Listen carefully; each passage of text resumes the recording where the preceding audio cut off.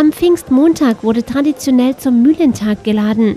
Auch zur Bockwindmühle in Dörgenhausen strömten zahlreiche Besucher, um sich über die Geschichte des mehr als 300 Jahre alten technischen Denkmals zu informieren.